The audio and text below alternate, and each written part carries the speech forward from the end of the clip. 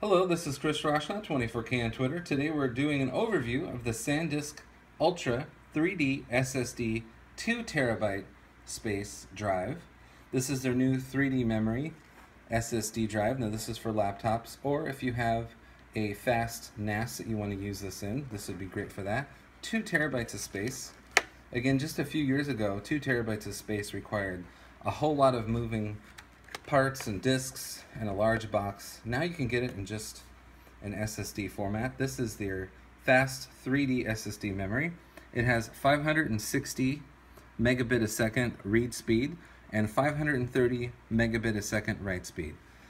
This uses the SATA port on your motherboard or your laptop. You can swap out a moving hard drive or older hard drive and you can actually put this in there if your laptop supports up to 2 terabytes of space on the SATA port.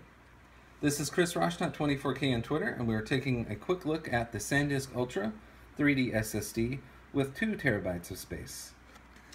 You can follow me on Twitter at 24K. Please subscribe to the channel. We appreciate positive comments, and of course, thumbs up.